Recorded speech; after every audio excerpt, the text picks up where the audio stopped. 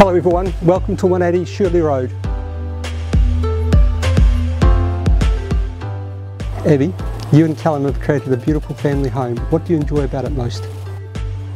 Wow, um, I like that this is our little slice of the city tucked away in Papatoetoe.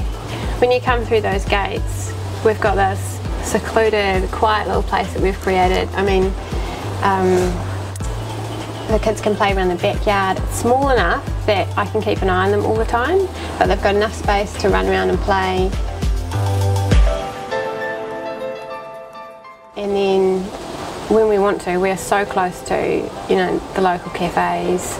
Um, you can jump on the motorways, get into Newmarket, or we quite often go to the beach on Sunday morning. And um, and yeah, we've got space here too.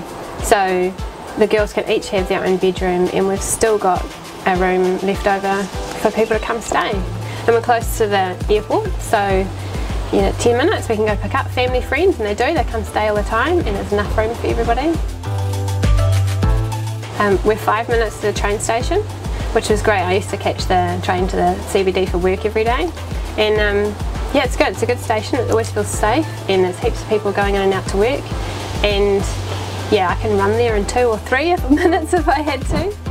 And now that I'm not working, I'm at home with the kids. We've got all this space here for the children to play, and it's because we're close to both motorways. It's really easy to go visit.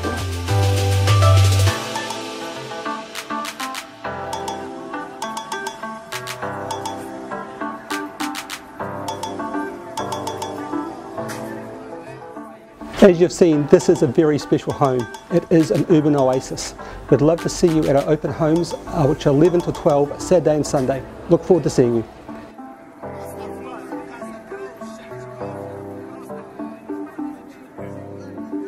That's why.